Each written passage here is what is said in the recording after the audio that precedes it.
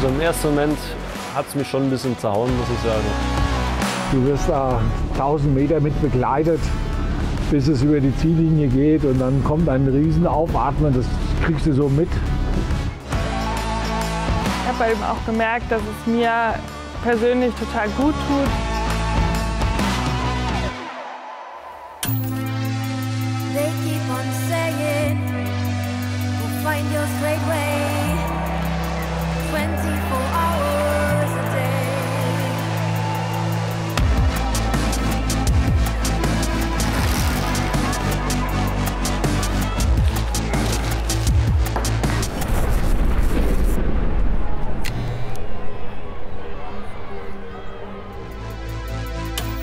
Clemens Wickler, Beachvolleyball. Tole!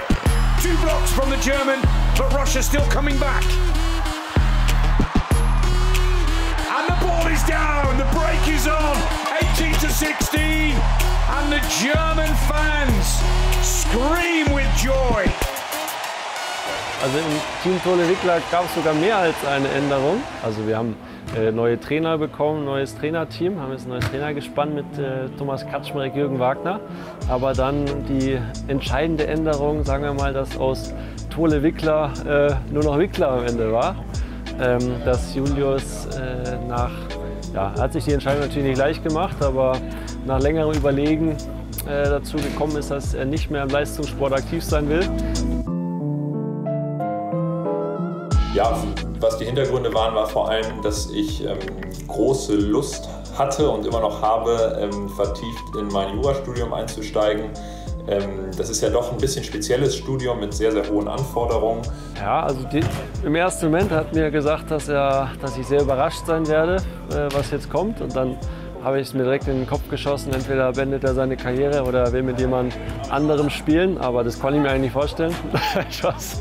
Ja, bin am Ende zu der Entscheidung gekommen, weil ich nicht mehr ganz geglaubt habe, dass ähm, ich den Profisport mit äh, 100% und voller Hinge Hingabe ausüben kann. Ähm, das war immer die, die wichtigste Voraussetzung ähm, für den Clemens und mich und sicherlich auch der Grund für die sehr, sehr positive Entwicklung von uns in den letzten Jahren.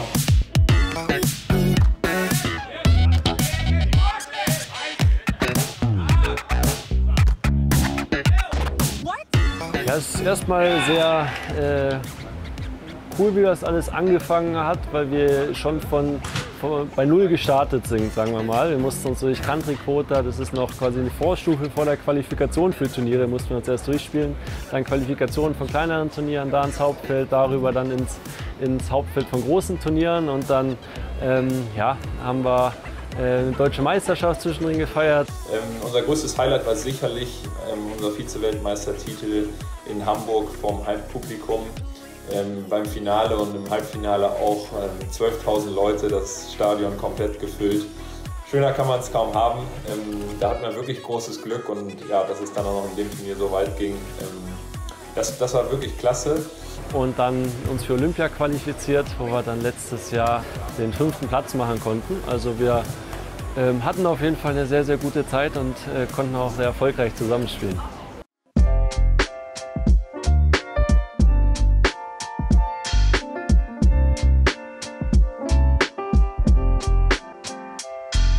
Also für mich war sofort klar, nachdem Julius nicht mehr ähm, oder gesagt hat, seine Karriere beendet, mit wem ich spielen möchte, äh, dass es da in meinen Augen nur noch den äh, Nils gibt, der ja, ein Blocker ist, der auf einem ähnlichen Niveau unterwegs ist wie Julius und mit dem ich die Ziele, die ich mir selber gesteckt habe, äh, auch weiter erreichen kann.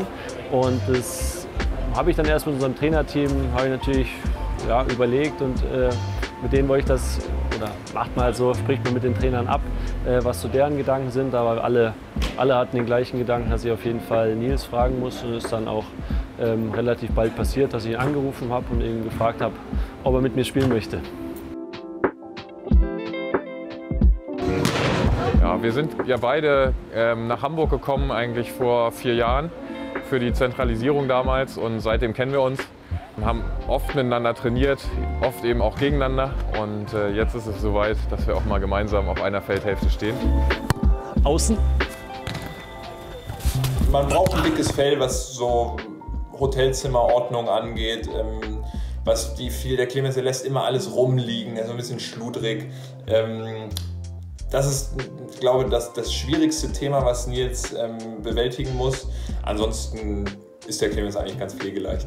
Also, nee, also jetzt mal ernsthaft. Ähm, ich glaube, der Clemens ist ein, ein absolut etablierter ähm, Weltklasse-Abwehrspieler, der ähm, ja auch ein super entspannter und umgänglicher Typ ist. Ähm, deswegen machen wir da nicht so viel Sorgen. Wir kennen den Nils ja auch gut. Der ähm, war ja einer ähm, unserer Haupttrainingspartner eines der anderen Nationalteams in den letzten Jahren und ähm, ist auch ein super Typ und bin, bin davon überzeugt, dass die beiden sich schnell finden werden.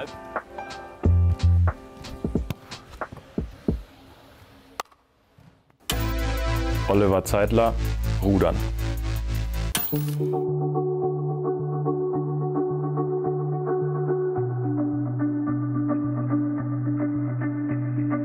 Mein Großvater ist nach dem Training vorbeigekommen, was es natürlich auch nicht so besonders ist, weil normalerweise ist auch viel hier auch mit meiner Schwester unterwegs. Ja, Olli, einmal andersrum jetzt, ne? Etwas bequemer als selbst zu rudern. Mal auf dem Wasser gefahren werden. Ist lange her, dass wir das das letzte Mal gemacht haben. Ja, Ja, ist sehr beeindruckend natürlich, wenn man sich das so vorstellt, was hier an dieser ähm, Strecke passiert, wo es ja sonst doch mal sonst sehr idyllisch während dem Training ist, würde ich sagen, was da auch ähm, abgegangen ist vor 49, jetzt bald 50 Jahren. Ähm, ja, ist schon beeindruckend auf jeden Fall. kannst du dir eigentlich vorstellen, wie das hier 72 aussah? Zu den Finalläufen. Also du meintest ja, dass hier überall Menschen standen auf jeden Fall. So ab 500 Meter oder noch Du weiter musst dir weg. vorstellen, die ganze Tribüne hier, einschließlich des Kunststreifens da vorne, das war ja auch früher noch Tribüne, war alles voller Menschen bis zum 1000 Meter Turm. Bis 1000 sogar. Ja. Und das reichte dann nicht aus. Dann haben sie hier auf der anderen Seite, auf der rechten Seite hier die Zäune geöffnet und haben dann die Menschen da reingelassen. Da war auch noch mal bis 1500, 1250 Meter etwa alles voller Menschen. Dieser ganze Hügel stand da voll. Also ich habe das nie wieder erlebt bei einer Ruderveranstaltung, dass so viele Besucher da waren. Das waren rund um die 45.000 hat man damals geschätzt. Der damalige Eindruck war natürlich gigantisch. Als wir als Sportler hier angereist sind und äh, auf diese Anlage kamen, ne, sowas hatten wir vorher nirgendwo auf der Welt erlebt. Eine Riesentribüne, Bootshallen, eine Wasserqualität, die seinesgleichen sucht äh, und heute noch natürlich nahezu Trinkwasserqualität hat. Also das war für uns Ruderer, äh, möchte ich mal sagen, ein, ein Traumstart hier.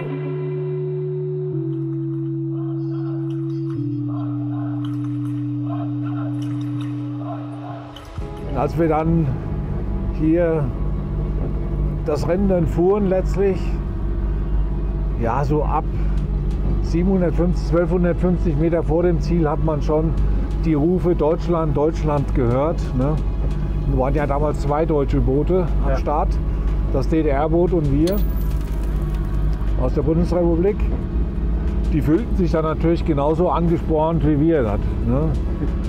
Und äh, war ja auch von vornherein klar, dass es zwischen diesen beiden Booten die Goldmedaille ausgefahren wird. Wobei wir ziemlich sicher waren, dass wir das Rennen hier machen, trotz Bahnbenachteiligung damals. Wir fuhren hier auf der Bahn 5 und die DDR drüben unter Land, unter der Tribüne auf Bahn 1. Und wir hatten einen etwas seitlichen Gegenwind.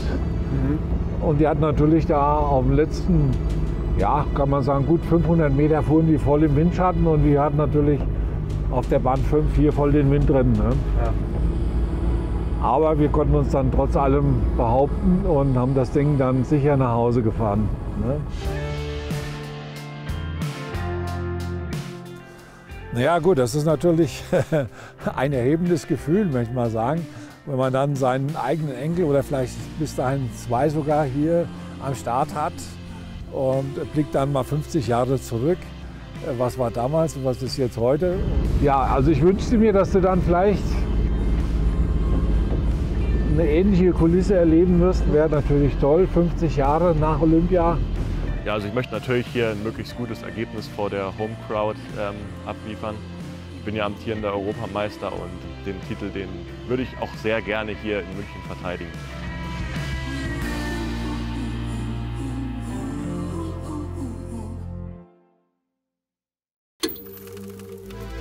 Christina Hering, 800 Meter.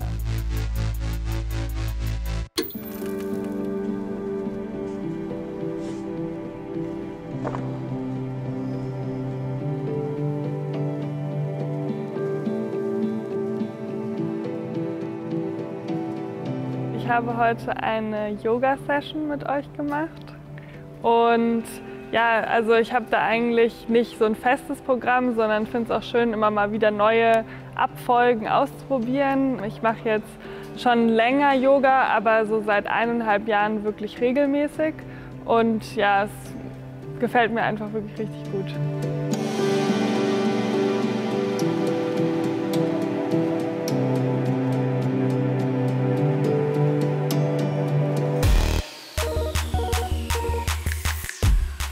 Also beim Laufen werden natürlich auch viele Muskeln, aber halt immer die gleichen Muskeln angesprochen.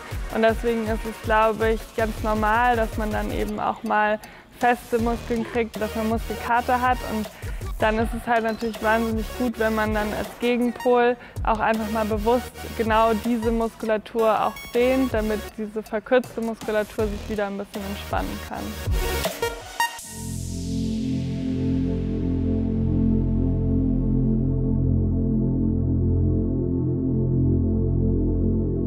Bin natürlich jetzt wahrscheinlich nicht geboren für Yoga. Ich bin natürlich sehr groß und auch nicht super gelenkig. Deswegen begnüge ich mich meist mit den Basic-Übungen. Aber ich finde es eben toll, dass ich auf der einen Seite diese Dehnung habe und ähm, die Beweglichkeit, auch gerade in der Wirbelsäule und Hüfte, die natürlich sonst oft zu kurz kommt. Und dann auf der anderen Seite auch diese mentale Entspannung, weil wir sind natürlich einfach immer sehr angespannt, man möchte jedes Training sein Bestes geben und es ist auch oft sehr anstrengend und herausfordernd und deswegen finde ich es dann super toll, so als krassen Gegensatz dann mal wirklich extrem langsam und lange in den Übungen zu sein und ja, ich schaffe es mittlerweile wirklich, dass ich dann auch die Zeit mal an nichts anderes denke. Tatsächlich kann ich auch beim reinen Dauerlauf auch mal ganz gut mental abschalten. Also auch da klappt es ganz gut, aber es ist natürlich was ganz anderes, wenn man in, in Ruhe und in Stille versucht, an nichts Besonderes zu denken. Also da musste ich auf jeden Fall erstmal lernen und auch ich kriege es auch nicht immer hin. Also es ist auch mal so, wenn man weiß, oh je, jetzt muss ich dann direkt los oder heute ist ein stressiger Tag oder, oder ja, steht mir was Wichtiges bevor, dann ist es natürlich schon sehr schwierig, da abzuschalten. Aber das eine oder andere Mal kriege ich es wirklich gut hin, auch eben dieses Reinkommen in die Yoga-Praxis und auch wieder das Rauskommen ähm, habe ich am Anfang gar nicht so für wichtig erachtet, aber ich glaube, das ist halt wirklich auch nochmal ein wichtiger Teil des Ganzen, damit man sozusagen auch wirklich ganzheitlich von dem Programm profitiert.